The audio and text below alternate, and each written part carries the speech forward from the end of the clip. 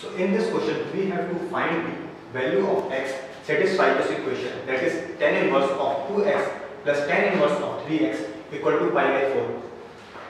So in this type of question, we take tan on both sides. So we will get tan of tan inverse 2x plus tan inverse of 3x and on right hand side we will get tan of pi by 4 which is equal to 1. Now applying the identity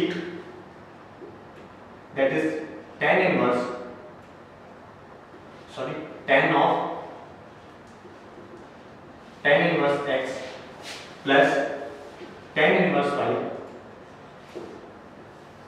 is equal to tan of tan x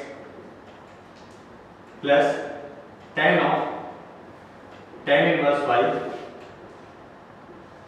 upon 1 minus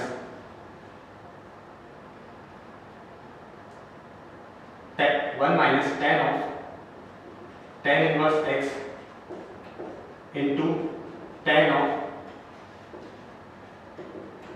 tan inverse y. So we will we will apply this identity to the left hand side of our equation. So we will get tan of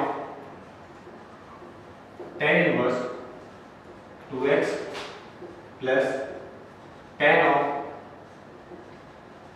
tan inverse 3x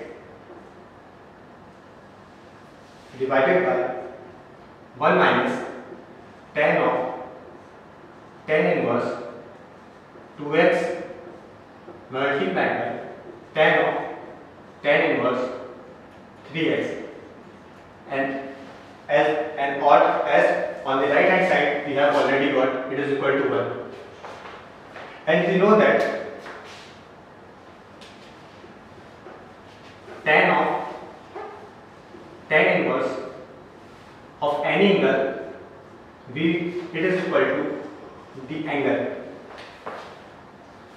so here we can write it as 2x plus 3x divided by 1 minus 2x times 3x and on the right hand side it is equal to 1. So it will be equal to 5x divided by 1 minus 6x square equal to 1.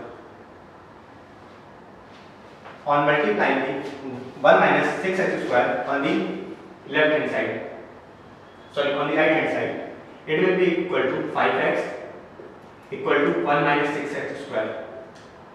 So it will become a quadratic equation which is equal to 6x square plus 5x minus 1 equal to 0. When we evaluate the value of this equation either by using quadratic formula or by factorization method, we will get x is equal to 1 by 6 or x is equal to minus 1. The factors of this we can write it as x minus 1 by 6 and x plus 1. So from here we get we will get these two roots. Now this is not our final answer. In this type of question you usually we, get two values and one of them is not satisfying the equation.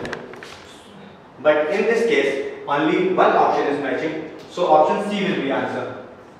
But, but always remember that always cross checks the value of x that are evaluated in the initial equation.